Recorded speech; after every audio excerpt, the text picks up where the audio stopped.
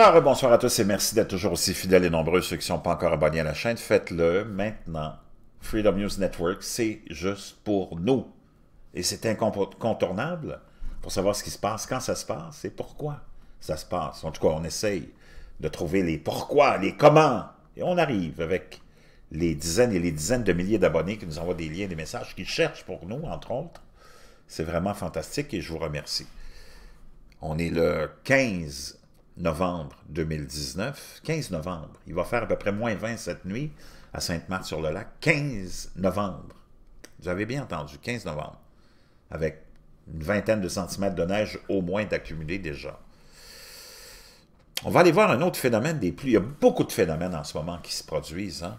venez me rejoindre sur Facebook aussi, Jean Granger ou Jean Aymar. Venez me rejoindre sur Patreon, Jean Aymar. Beaucoup de contenu exclusif. J'en ai marre Patreon et mes deux autres chaînes. Venez visiter aussi le site euh, j'en ai marre.net où vous pouvez trouver euh, ce petit t-shirt euh, que tout le monde aime bien, disponible, entre autres. Donc, merci d'être là. On va aller...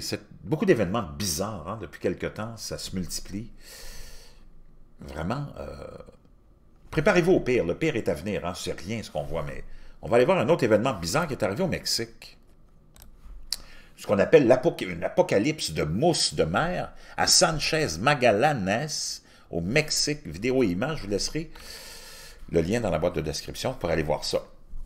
Une mer d'écume du golfe du Mexique a envahi les, envahi les rues de Sanchez Magallanes au Mexique sans que les autorités aient une explication. Hallucinant, regardez ça. Hein, un mur d'écume de mer a envahi les rues d'une petite ville du Mexique. Complètement hallucinant. L'Institution de protection civile de Tabasco enquête actuellement sur l'origine de cette substance étrange.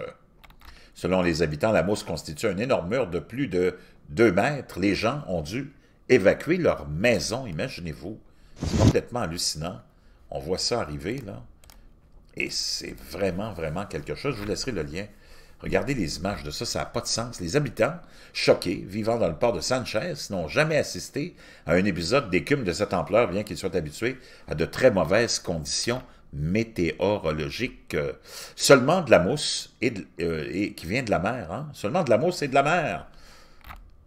Un front froid et ses vents forts sont responsables de l'apocalypse en mousse. Les premières rafales ont balayé la ville vers 3h45 du matin. Les évacuations ont commencé une heure plus tard. Regardez ça, complètement, complètement hallucinant.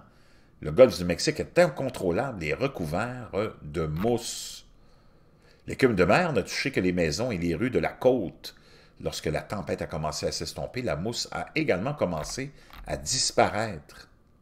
Wow! Les murs en mousse marine atteignaient deux mètres de haut les écoles ont été fermées, ainsi que de nombreuses entreprises. C'était une mauvaise tempête. Soyez toujours prêts. Beaucoup de pollution. Hein? on se rappelle dans le golfe du Mexique le, désastre. Il y a quelques années, vous vous rappelez de BP qui avait euh, causé des semaines et des semaines de fuite et des mois avant qu'on puisse trouver une façon de colmater ça. Puis c'est à se demander si on réussit. Vraiment hallucinant. Quelque chose de vraiment très épeurant. Je vous laisserai le lien, vous irez voir ça. On n'a pas d'explication. Une mer d'écume, l'apocalypse. On l'appelle l'apocalypse, hein? C'est quand même quelque chose.